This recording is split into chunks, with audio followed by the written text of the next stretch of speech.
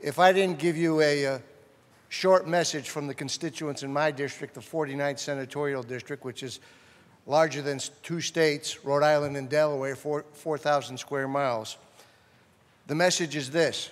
I haven't come upon one citizen in the 49th Senatorial District who has told me, or anybody else who I haven't spoke to, who is a citizen in that district, who thinks they should be able to break the law and be rewarded for it.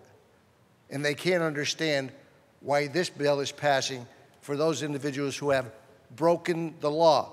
Not only this one, any law, and be rewarded for it. They know that doesn't happen to them, and they are citizens of the 49th Senatorial District in the state of New York.